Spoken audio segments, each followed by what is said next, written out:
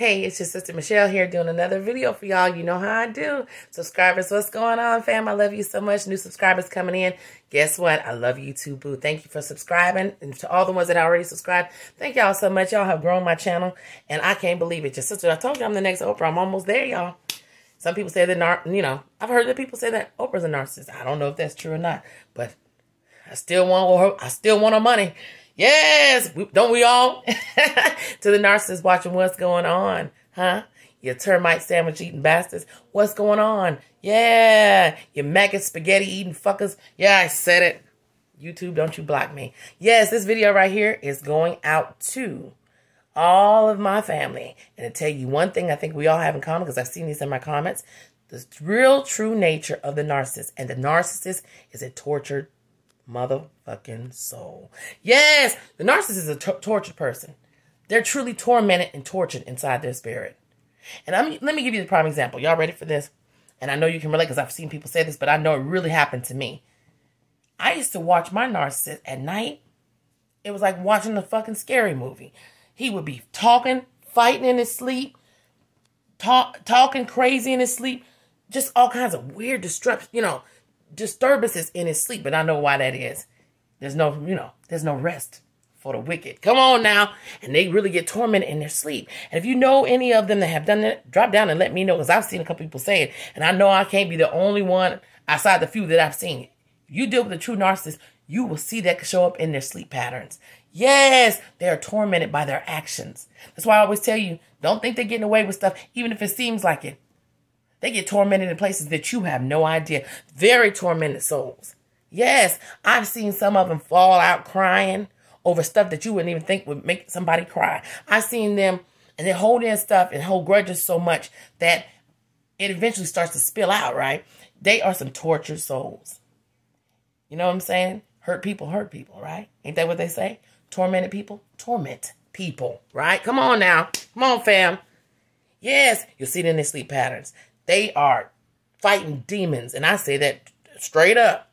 They're fighting demons in their sleep or whatever it is. Okay? Yeah. You see them becoming alcoholics. Most of them drink a lot, do drugs. Am I lying? Come on now. They do all that to keep down what's really going on deep inside. That's a way to ease stuff. And, and, and, you know, not just the narcissist. A lot of people do that. I mean, hell, I had my moments where, hell, a bottle of wine was my best friend when I was going through a lot of pain, and sometimes that happens in life. We do take things, you know, as a way to ease stuff, but they take it to a different level, baby. They almost all of them, they got some kind of addiction. I don't care. Some of them even are addicted to shopping. And I know that sounds crazy. Some of them addicted to pornography. Nothing wrong with porn.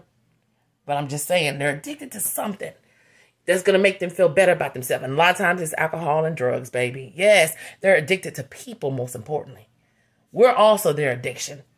That's why they do, they overindulge with all the different people they fuck with because there you have it.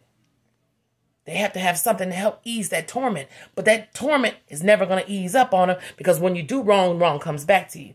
Now, one thing for sure, you might can run from people, but you can't run from what you've done to people. Come on now. Sister don't say something. Listen to me again. You might can run from people, but you can't run from what you did to people. And that's what happens to the narcissist. They're very tormented. And that's why they tormented you like that. Because all that gook and all that mess that's inside of they no good for nothing, spoiled asses, they ooze it out. And I even seen this. Now, y'all might think I'm crazy for this. Then drop down if you, you, you've seen this, because I have. Some of them, you could even go to the households. Like, they live in a household for so long, or they live in a house, apartment, wherever they live at, they've been there for so long, Whatever is in them ends up in that household. Now, let me tell you something. Everybody, and I don't mean no harm, just about, because he's still, my narcissist still in the household he's been in for many, many years, well, his family is. So he stays there a lot or whatever. And everybody that comes in that household has issues. Yes. Yes, and that's another reason why I stopped my children from going because I even when my son would go there, he would come home and I could tell a difference in my son from when he's with me all the time, right? Come on now. I'm sure you can understand that. Even the spaces they occupy become tormented spaces. I have seen it firsthand. Yes. You lay with dogs, you get fleas, ain't that what they say? You lay with a narcissist, You'll get more than fleas. Get worms, termites, bed bugs, centipedes, all kinds of shit. But anyway, that the spaces they occupy also become that kind of haven. I remember now, listen to me, this is a true story. I remember one day my oldest daughter's boyfriend, who had never been over to the house at the time. Now, this has been years back. He, we went over there one day to pick up my son, my baby boy. And her boyfriend was in the car with us that day. Okay? Now, this is deep. Now, come on.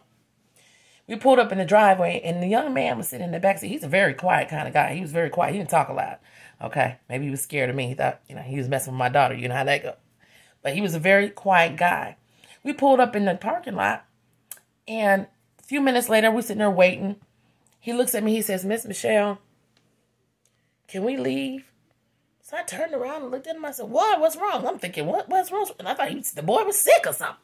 He said, No, I don't feel right here. Something over here ain't right. Something in me, you know, that intuition. We all have intuition, but he, his intuition was kicking his behind. He was like, as soon as we pulled up here, I just didn't feel right. I seen the people here, and it's just something in my spirit didn't feel right. Now, this is a young man who didn't know anything about these people. He knew that I had kids with this man, but he had never been around the people, right? But he was, that's what I'm trying to take. The space that they occupy can be just as dramatic and evil as they are. Yes, that's why I tell you all the time, you got to remove yourself completely from them. That's why they say no contact with nothing that they have any contact with because it's true. It can get on all kinds of things. Anything that's around in them, whether it be friends, family, like I said, places they live in, whatever, it all becomes the same kind of gunk. I promise you that. It's crazy, right? Because they're such tormented soul that it oozes out of them. Yeah. Listen to your sister. Be careful out here now, dealing with these narco rats. Yes, I said it. YouTube don't block me. But the narcissist is a tormented soul. That's why it's best that you got yourself out of it. But We should be glad. I know it's hurtful and it's hard, but be praising God and whatever you believe in, the universe, all that. I told you before that you have exited from something that you really don't know how deep this shit go. Yes, it does. Ooh, you know, your sister don't got chill. It's deep. It goes real deep. Yeah. And you better be glad that you're no part of it. And if they discarded you, it's the best thing they could have ever done for you. Because now you can get away from that demonic shit. Because I don't care what nobody say. It's demonic.